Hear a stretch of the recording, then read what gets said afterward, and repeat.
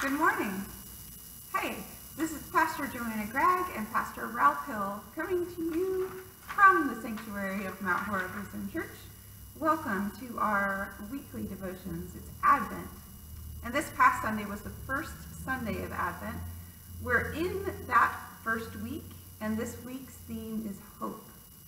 As we lit this candle behind us already, let us hear the gospel we heard um, this past Sunday with new ears in the light of hope. From Luke chapter 21.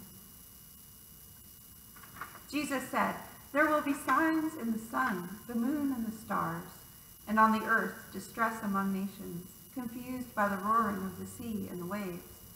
People will faint from fear and foreboding of what is coming upon the world, for the powers of the heavens will be shaken. Then they will see the Son of Man coming in a cloud with power and great glory. Now when these things begin to take place, stand up and raise your heads, because your redemption is drawing near. Then he told them a parable. Look at the fig tree and all the trees. As soon as they sprout leaves, you can see for yourselves and know that summer is already near. So also, when you see these things taking place, you know that the kingdom of God is near. Truly, I tell you, this generation will not pass away until all things have taken place. Heaven and earth will pass away, but my words will not pass away.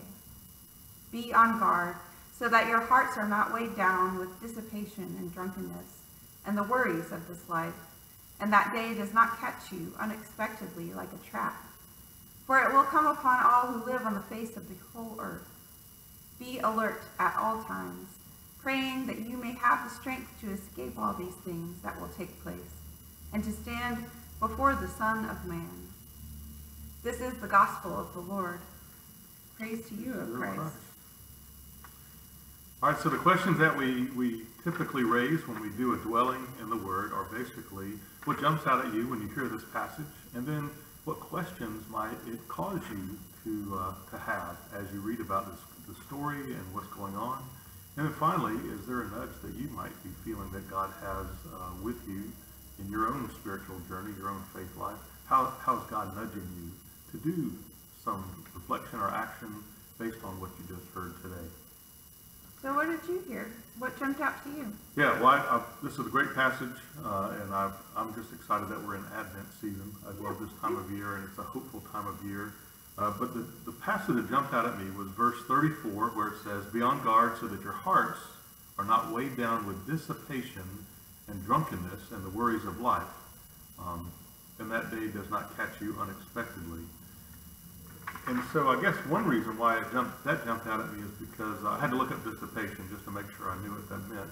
But it basically means getting so distracted by things going on in your life that you are not able to kind of enjoy life. So do we often get caught up with busyness or things to do list or work mm-hmm. um, so that we miss out on certain aspects of our relationships or maybe our jobs uh, or just enjoying the peace that we talk about God gives to us because we're so worried and nervous about that. Um, and so it makes me think about uh, what are some things that get in the way for me of being, reminding myself that I'm part of God's creation. How about you? What jumped out at you? Right, what jumped out to me was verse 27. Uh, then they, oh wait, am I right? Yeah, verse 27. Then they will see the Son of Man coming in a cloud. That picture is just too great to not uh, stop, let it stop you in your in your thoughts.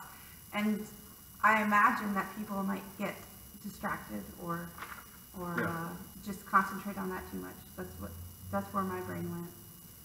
Um, and then the following verse, because because your redemption is drawing near. Those those two ideas are what first caught my attention. Okay, good.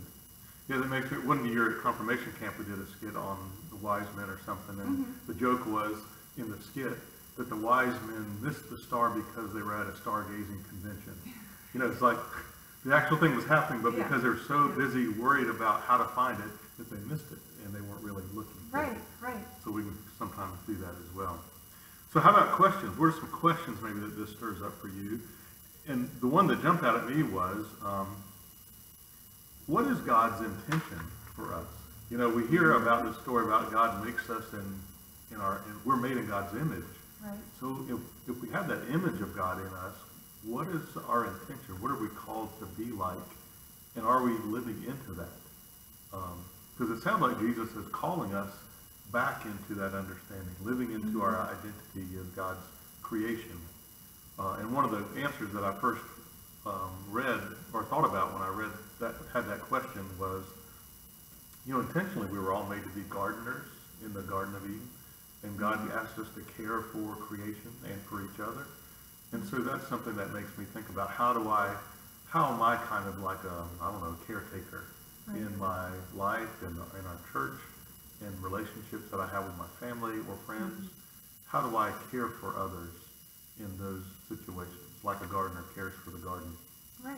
And that includes taking care of ourselves, not getting weighed down Right. by the things that we mentioned at the end of the passage. Um, and the question, or the thing that jumped out to me because of the verse, thinking about the verse about the Son of Man coming on the cloud, um, was there's going to be signs.